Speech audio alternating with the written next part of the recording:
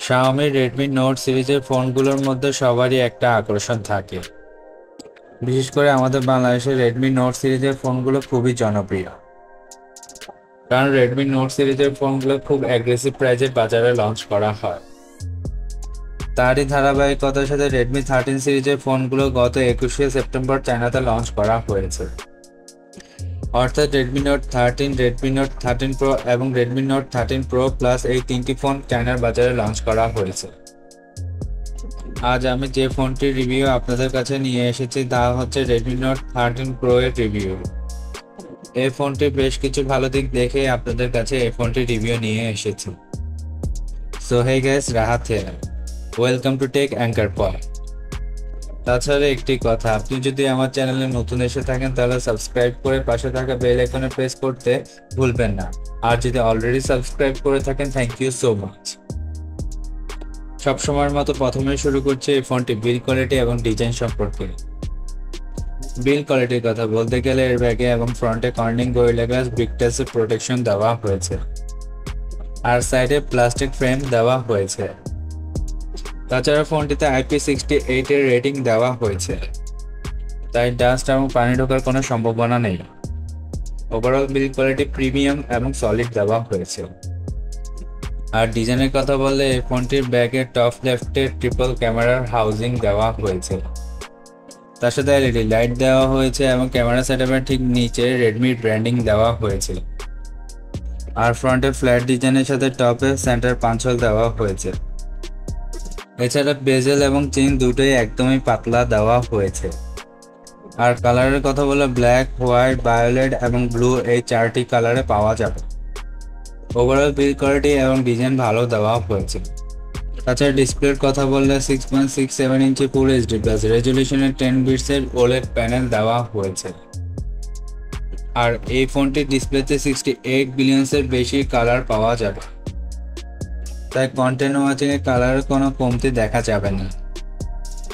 তাছাড়া কন্টেন্ট এর জন্য wide and Elon certification HD ten plus certification এবং ডলবি ভিশনের সার্টিফিকেশন দেওয়া হয়েছে। তাই ডিসপ্লে কোয়ালিটি কন্টেন্ট ওয়াচিং এর জন্য টপ নচ দেওয়া হয়েছে। তার সাথে টোয়েন্টি এস টোয়েন্টি নাইনের স্পেক রেশিও এবং ফোর সিক্সটি ফোর পিপিএ এর পিক্সেল ডেন্সিটি দেওয়া হয়েছে। আর ব্রাইটনেসের কথা বলে আঠারোশো নিটসের পিক ব্রাইটনেস দেওয়া হয়েছে। তাই ইনডোর এবং আউটডোর ভিজিবিলিটি অনেক ভালো পাওয়া যাবে। অর্থাৎ কেউ যদি সানলাইটে দাঁড়িয়েও থাকে, তাহলেও ব্রাইটনেসের কমতি দেখা যাবে না। এছাড়া রিফ্রেশ রেটের কথা বললে ওয়ান টোয়েন্টি হার্স রিফ্রেশ রেটের সাথে four eighty hertz touch sampling দেওয়া হয়েছে। ওভারঅল ডিসপ্লে কোয়ালিটি ভালো দেওয়া হয়েছে। আর পারফরমেন্সের কথা বললে এই ফোনটিতে দেওয়া হয়েছে Qualcomm Snapdragon seven S generation two processor যেটি কিনা ফাইভ জি প্রসেসর যা ফোর ন্যানোমিটারের উপর বানানো হয়েছে। তাই এনার্জি এফিসিয়েন্সিটি অনেক ভালো পাওয়া যাবে এবং হিটিং ইস্যু অনেক কম দেখা যায়। তাছাড়া সিপিও পারফরমেন্সের কথা বলে টু পয়েন্ট নাইন ওয়ান গিগার্সের পিক স্পিকের সাথে এ সেভেন টেন কোর্স দেওয়া হয়েছে। তাই day to day performance smooth পাওয়া যাবে। আর গেমিং গ্রাফিক্সের কথা বলে অ্যাড্রিনাল সেভেন টেন জিপিইউ দেওয়া হয়েছিল তাই গেমিং মাখনের মতো চলবে। এছাড়া গ্রাফিক রিলেটেড কাজগুলো স্মুথভাবে করা যাবে। তার সাথে এলপিডিডিআর ফাইভের র্যাম এবং ইউএফএস থ্রি পয়েন্ট ওয়ানের স্টোরেজ দেওয়া হয়েছে। ওভারঅল পারফরমেন্স ভালো পাওয়া যাবে। ওয়েল ক্যামেরার কথা বললে এই ফোনটিতে দেওয়া হয়েছে ট্রিপল ক্যামেরা যাতে কিনা প্রাইমারি ক্যামেরা দেওয়া হয়েছে দুইশো মেগাপিক্সেল আর প্রাইমারি ক্যামেরাতে ওএসএ সাপোর্ট পাওয়া যাবে। রিয়ার ক্যামেরার সাথে এইট মেগাপিক্সেলের আলট্রা ওয়াইড এবং টু মেগাপিক্সেলের ম্যাক্রো সেন্সর দেওয়া হয়েছে। তাছাড়া রিয়ার ক্যামেরাতে ফোর কে ভিডিও শ্যুট করা যাবে থার্টি এফপিএস এর উপর। আর ফ্রন্টের কথা বলে এই ফোনটিতে দেওয়া হয়েছে সিক্সটিন মেগাপিক্সেলের সেলফি ক্যামেরা এছাড়া ফ্রন্ট ক্যামেরাতে ten eighty p video shoot করা যাবে থার্টি এফপিএস এর উপর। ওভারঅল ক্যামেরা সেট ভালো দেওয়া হয়েছে। আর ব্যাটারির কথা বলে এই ফোনটিতে দেওয়া হয়েছে পাঁচ হাজার একশো এমএচ এর ব্যাটারি তাই হেভি ইউজে ফোনটি একদিন অনায়াসে ব্যাকআপ দিবে। তাছাড়া ব্যাটারির চার্জ শেষ হয়ে গেলেও কোনো প্রবলেম নেই।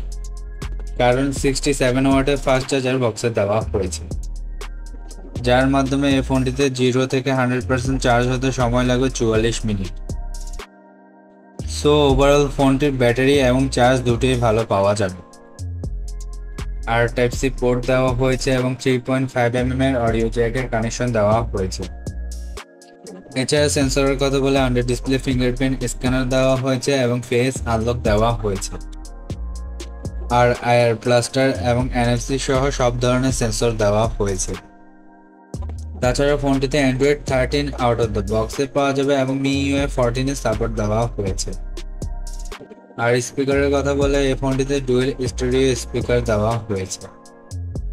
তাই সাউন্ড কোয়ালিটি ভালো পাওয়া যাবে। এছাড়া সিম স্লটের কথা বলে এই ফোনটিতে ডুয়েল ন্যানো সিম স্লট দেওয়া হয়েছে। অর্থাৎ এতে দুটি সিম ইউজ করা যাবে, কিন্তু মেমোরি কার্ড ইউজ করা যাবে না। এই ফোনটির ভেরিয়েন্টের কথা বলে পাঁচটি ভেরিয়েন্টে চায়নার বাজারে লঞ্চ করা হয়েছে। এই ফোনটির বেস ভেরিয়েন্ট অর্থাৎ এইট প্লাস একশো আঠাশ জিবি চায়নাতে দাম রাখা হয়েছে তেরোশো নিরানব্বই ইউয়ান যা বাংলাদেশি টাকায় কনভার্ট করলে বিশ হাজার টাকার একটু বেশি হয়। যেহেতু অনেকগুলো ভেরিয়েন্টে ফোনটি লঞ্চ করা হয়েছে, তাই সবগুলো ভেরিয়েন্ট মুখে বলা সম্ভব নয়। তবে ভেরিয়েন্টগুলো স্ক্রিনে এবং ডেসক্রিপশনে দিয়ে রেখেছি। ফোনটির স্পেসিফিকেশন হিসেবে প্রাইসটি অ্যাগ্রেসিভ রাখা হয়েছে। আপনাদের কাছে ফোনটি কেমন লেগেছে তা কমেন্টসে জানাতে ভুলবেন না। তাছাড়া রেডমি নোট থার্টিন সিরিজে আর কোনো ফোনের রিভিউ দেখতে চাইলে অবশ্যই কমেন্টসে জানাবেন। তাছাড়া ভালো থাকবেন এবং সুস্থ থাকবেন। বিদায় নিচ্ছে আজকের জন্য। দেখা হবে নতুন কোনো ভিডিওর সাথে। আল্লাহ হাফিজ।